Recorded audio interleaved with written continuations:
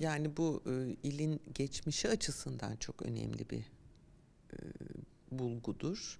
Ama tabii şimdi orada Te- Tetem Karayolu'nun geçmesi ve üzerinde e, yerleşimin bulunması biraz sıkıntılı bir süreç olacaktır. Ama onun yanında böyle bir e, ne bileyim e, hani ne diyorlar ona inanç turizmi kapsamında gezilebilecek turistik e, bir noktaya dönüştürmek mümkün olur.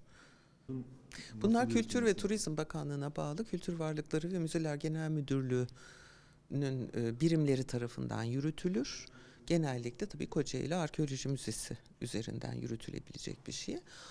Üstünde herhangi bir yapılaşma olmayan kısmında böyle bir kurtarma projesi yürütülse, bunlar açığa çıkarılsa ve bir açık hava e, müzesi gibi ya da ziyaret alanı gibi düzenlense tabii ki e, en azından kültür varlığı, kültürel miras farkındalığını da artıracak bir nokta olurdu.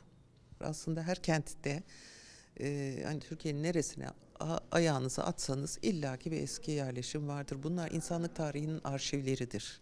Ve bunlar yok olduğu sürece ya da araştırılmadığı sürece insanlık tarihini araştıramayacağız demektir. Hani bu bir tıp gibi, mühendislik gibi günümüz insanının hizmetine sunulacak bir hizmet değil. Ama sonuçta bu bizim geçmişimiz. Ve bu geçmiş yani bulunduğumuz bölgenin geçmişi tabii kişisel geçmişimiz değil. Ülke olarak geçmişimiz ve biz buna sahip çıkmalıyız. Bunun için de bir farkındalık yaratılması gerekir. E, Buna yarıyor bu tür işlemler.